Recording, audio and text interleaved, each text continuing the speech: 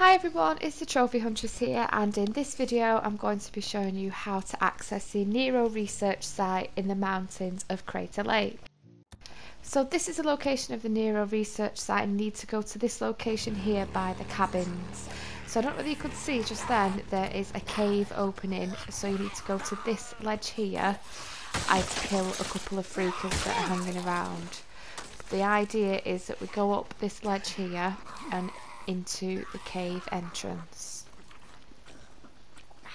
which is just here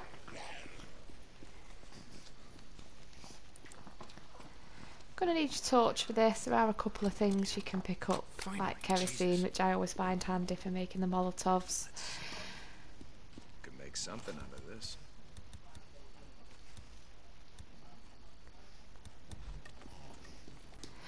So follow the cave round, keep going round to your right. Up to this level here.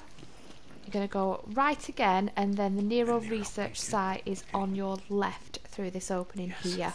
So this is where you'll find the box with the injector inside and also the Nero uh, voice recorder as well. This will help me focus. Oh, another one of those uh, micro recorders. Jesus, yeah, wonder what that's a happened big here. guy. Yes. Yes, it is.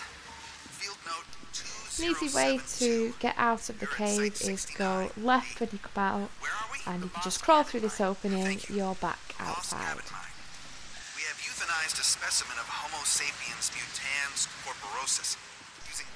Thank you for watching. I hope you found this video useful. If you did, don't forget to give it a like and don't forget to subscribe. You can also follow me on Instagram as well.